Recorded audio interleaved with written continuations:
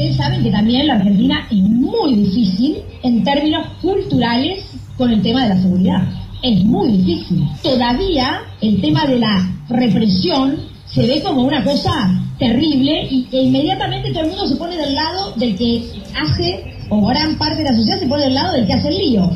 Y, y, del otro lado está la fuerza de seguridad tratando de hacer cumplir la ley, pero resulta que no puede hacerla cumplir con armas. Y entonces, ¿cómo la va a hacer cumplir si del otro lado le están tirando con morteros? ¿Cómo pasa Canadá o cualquier país de los que hoy estamos este, eh, acá con los embajadores? La fuerza de seguridad actúa sacando a esa gente como la tenga de sacar. Si no la puede sacar con, no sé, agarrándolas, este, ¿no? Con las primeras cuestiones que tienen los protocolos de seguridad, inmediatamente pasa al, hidrante, al camión hidrante, y luego le tiraron una mano de goma, no sé, la pierna, yo no sé cómo es, pero la verdad que los argentinos vamos a tener que dejarnos de jorobar